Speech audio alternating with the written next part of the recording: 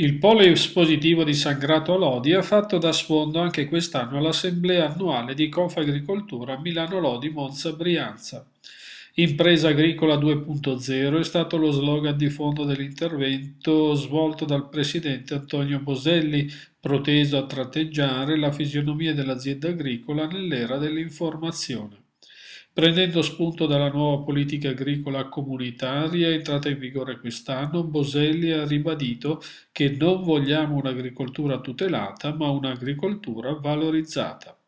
Ci sono infatti due sfide da vincere, come ha sottolineato Paolo Covo della Commissione Agricoltura della Camera, l'aumento della popolazione mondiale ed il miglioramento delle condizioni di vita di milioni di persone.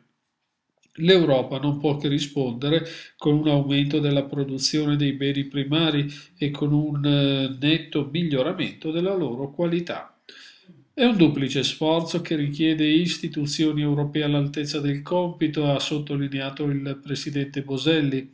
L'assemblea si è chiusa poi con l'intervento del presidente nazionale di Confagricoltura, Mario Guidi.